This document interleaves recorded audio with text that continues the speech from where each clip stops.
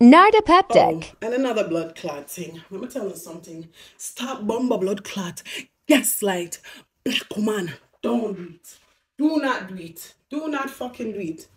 Look here, I'm gonna look up the definition of what gaslight mean. I'm gonna look it up. Wait there. Wait there. Hey Siri, what does gaslight mean? As a noun, gaslight means a type of lamp in which an incandescent mantle is heated by a jet of burning gas. Do you want to hear the remaining one? Yes. As a verb, it means manipulate someone by psychological means into questioning their own sanity. Thank you, Siri.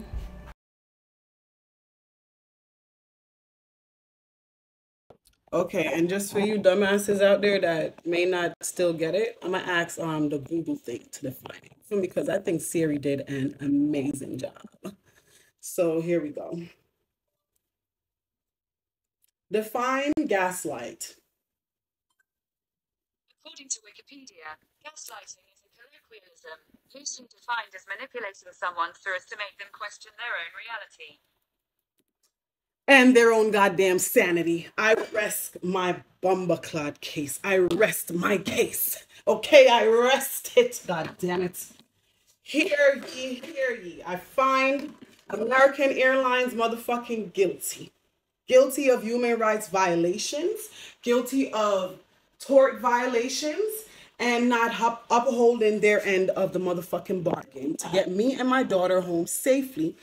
And um, then I was assaulted, got my back damn near broken, had piping hot coffee thrown at me that burnt me on my motherfucking foot. And to add insult to injury, I ended up in physical therapy for three fucking months. Do you hear me? Yes, for an entire season. And you motherfuckers are trying to motherfucking gaslight me, goddammit. Trying to manipulate my mind, trying to make me question my own fucking sanity or powers of reasoning. And this shit comes from a movie, right? I think it's called Gaslight or a show or some shit, right? In the first episode, Karen Valentine is being gaslighted by her husband.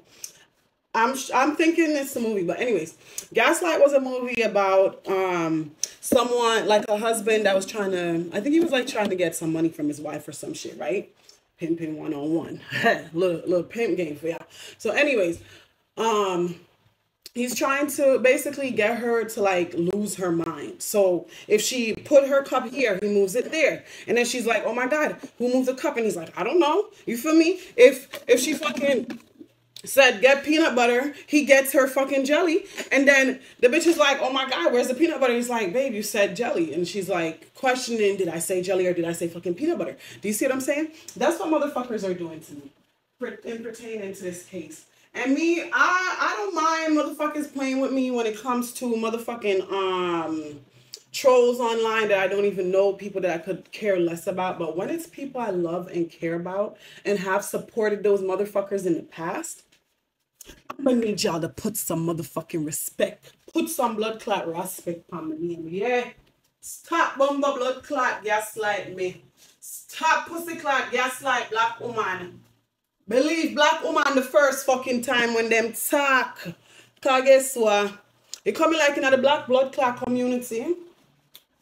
Not everybody, but a good portion of us is like if you're not, especially in America. I'm talking about America because this is where I live. You get what me? I say so.